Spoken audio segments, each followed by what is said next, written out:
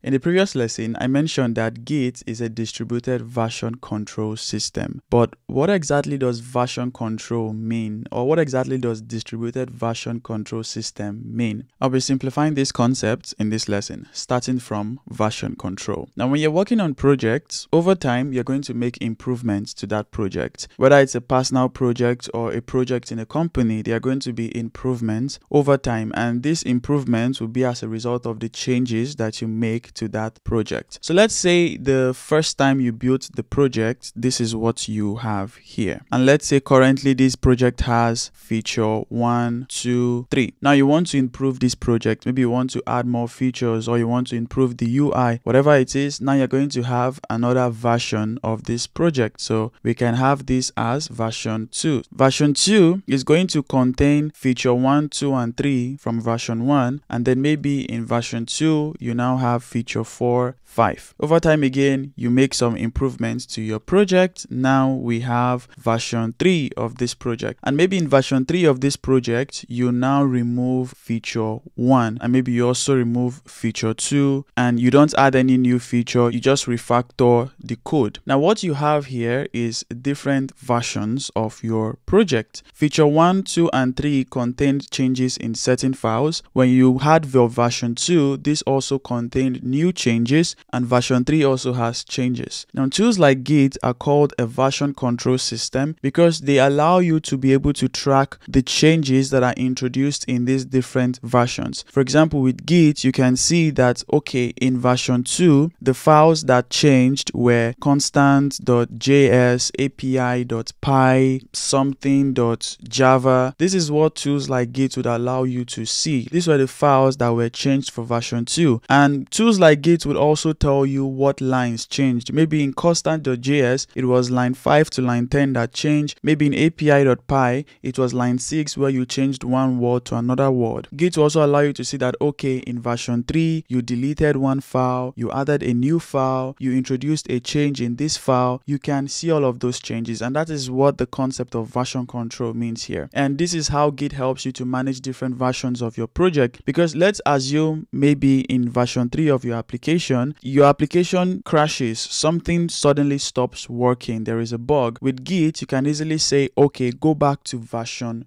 2. Now version 2 would not contain the changes in version 3 and let's assume it's the changes in version 3 that introduce those errors in your application. You can easily revert back to version 2 and your application will be working fine. Then you can fix the problems in version 3 and then you can have version 4. And the idea of version control isn't just for you to see what is changing between these versions, but it also makes it possible for you to retrieve previous files. Let's say in version 2 you deleted a file. Even if you're already in version 10, you can be able to access version 2 and see the files that have changed. So with this, you have a good history of your project and you can always revisit previous files or versions or changes if you need to. So what about distributed version control system? The abbreviation of this is DVCS. Distributed version control system is the category of version control systems that Git falls under. And the other category that you have is central version control system, which is CVC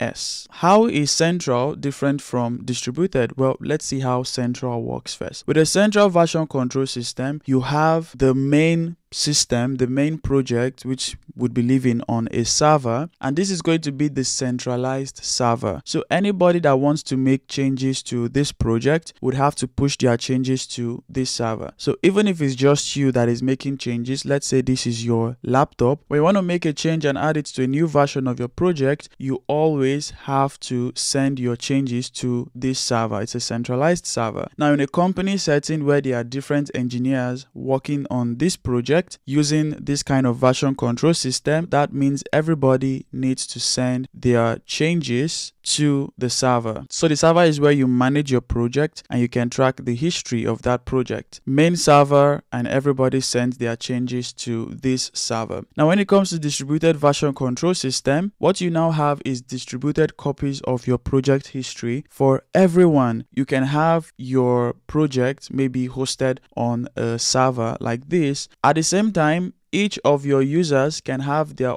own copy of the project. So if you want to track the history of your project or revisit previous changes, instead of only getting access to that information on the main server, every developer has that history on their device. So you can think of it as you have a project and everybody has a clone of that project. And in those clones, this user, for example, can create a new version here. This user can also create a new version. This one can create a new version. This one can create a new version. Version and then everybody can bring all their versions to one copy. So this is one copy here, which would usually be living on a server like GitHub or other Git hosting platforms. So everybody can bring their own version here. It's distributed in the sense that everyone has access to the history of the project and everyone can work on different versions of the project on their own devices. Now, central version control system and distributed version control system each have their own pros and cons. In some ways, CVCS is better than DVCS CVCS, and in other ways, DVCS is better than CVCS. In another lesson, I'll dive deeper into what the advantages and disadvantages of both of these systems are. So when it comes to version control, tools like Git have a way of managing the changes that you introduce in different versions in a database, and Git is very fast with doing this. But as your project goes bigger, the versions increases, the changes increases, the history increases, then Git might start becoming slow. But if your project is not super huge,